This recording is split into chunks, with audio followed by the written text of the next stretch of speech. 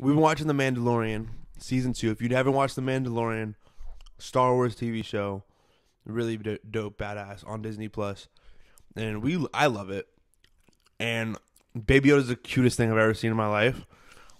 But here's the question: What is cuter, Baby Yoda or Groot? That's the hardest question. I feel like I have more of a connection to Groot, so I have to say Groot.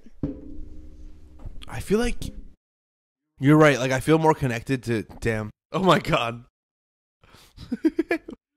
yeah, bring him in here. See, we don't have that, do we? We don't have a Groot. Okay. All right. that's better. Okay. So, yeah, I feel I feel like Groot. I'm more connected to emotionally because I've seen him die too, like multiple times, and um, I've been with him for like four movies, right, or Yeah. five movies. Yeah. But Baby Yoda's so cute. Yeah, but he's not. so cute. But he's like, he's a baby. That's what's so cute about him. I know, but he doesn't do any. Like, I guess he does do dope shit.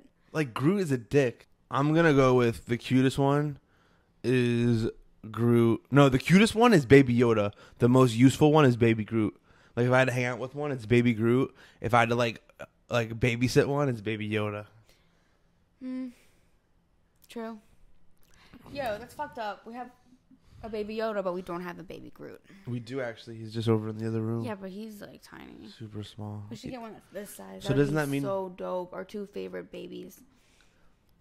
I want you guys to know: is it Baby Groot or Baby Yoda?